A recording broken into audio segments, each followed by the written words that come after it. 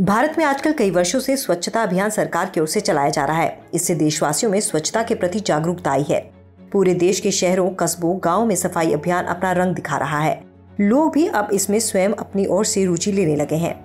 इस अभियान के कारण पूरे देश में नगर पालिकाओं नगर निगमों, ग्राम पंचायतों आदि में भी सफ़ाई का विशेष कार्य किया जा रहा है। सरकार द्वारा चलाए जा रहे स्वच्छता सर्वे के कारण सभी नगरों, कस्बों गाँव में सफ़ाई कार्य से जुड़े कर्मचारियों में एक तरह से प्रतियोगिता शुरू हो गई है। इसलिए झाड़ू एवं सफ़ाई के काम आने वाले अन्य उपकरणों की डिमांड भी काफ़ी तेज़ी से बढ़ गई है।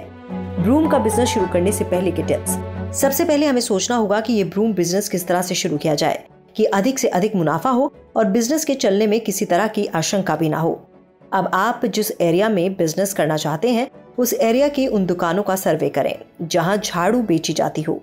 ये पता लगाने की कोशिश करें कि इस क्षेत्र में कौन सी झाड़ू अधिक इस्तेमाल होती है। यदि संभव हो सके तो पूरे एक साल का डेटा निकालने का प्रयास करें कि किस महीने में कौन सा झाड़ू अधिक बिकता है और कौन से महीने में कौन सा झाड़ू कम।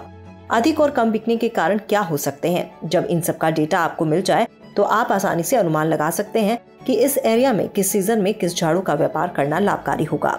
इस तरह से आपका कार्य क्षेत्र और कार्य करने का तरीका, आपके कस्टमर कस्टमर की पसंद आदि का पता चल जाएगा। तो आपको बिज़नेस करने में बहुत आसानी हो जाएगी। सस्ते और अच्छी क्वालिटी वाले माल की खोज ऐसे करें। बेहतर तो यही होगा कि आप अपने कस्टमर की मनपसंद की झाड़ू का बिज़नेस मार्केट में उपलब्ध माल से अच्छी क्वालिटी और सस्ती झाड़ू बनाकर करें। आपको झाड़ू बनाने में काम आने वाले कच्चे माल की तलाश करें कि कहाँ पर अच्छी क्वालिटी का माल सस्ते में मिल जाएगा।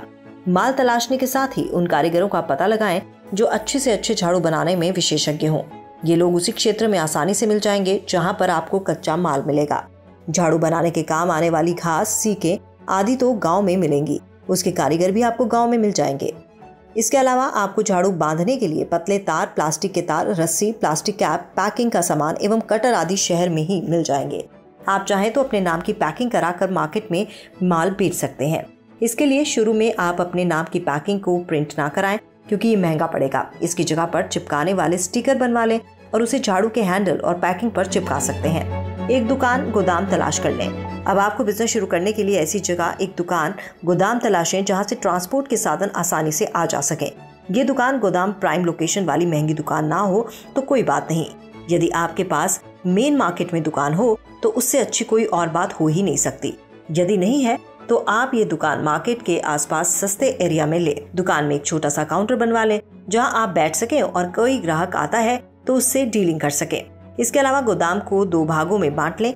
एक भाग में कच्चा माल और कारीगर के काम करने की जगह हो। दूसरे भाग में तैयार किया गया माल रखा जा सके। कॉम्पिटिटर को माल देने के लिए उनके रेट से कम रेट पर ग्राहकों को माल देना शुरू कर दें और ये काम लगातार छह महीने तक करते रहें। इसमें आपको शुरू शुरू में मुनाफा कम होगा, लेकिन आपको पहले बिज़नेस चलाने के लिए ये रणनीति बनानी होगी। इसमें सावधानी बरतनी होगी कि मुनाफे को कम करना है, खत्म नहीं करना है। यदि आप कॉम्पिटिटर के रेट से कम पर माल नहीं देना चाहते हैं तो अपने बिज़नेस शुरू करने के समय कुछ दिनों या कुछ सप्ताहों के लिए अपने ग्राहक को कोई आकर्षक ऑफ़र दे सकते हैं। इसके अलावा तीन महीने और छह महीने तक सामान लेने वाले ग्राहकों को कोई विशेष स्कीम देने का ऐलान करें।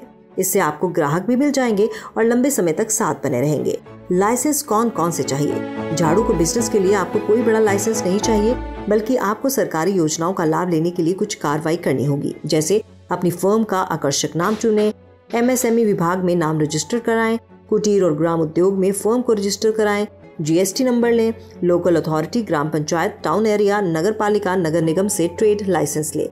लागत का पता करें। आपको अपने बिज़नेस की कुल लागत का पता करना चाहिए। इस बिज़नेस के लिए आपको एक दुकान, गोदाम ट्रांसपोर्ट का साधन, कच्चा माल, काम करने वाले कारीगर की सैलरी आपकी अपनी भागदौड़ का खर्चा कस्टमर डीलिंग पर होने वाला खर्चा, बिजली बिल और मशीन की कीमत आदि भी जोड़कर देखना होगा।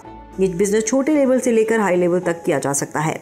आपको अपना बजट देखना होगा। छोटे लेवल पर बिज़नेस आप अपने घर के एक कमरे से शुरू कर सकते हैं।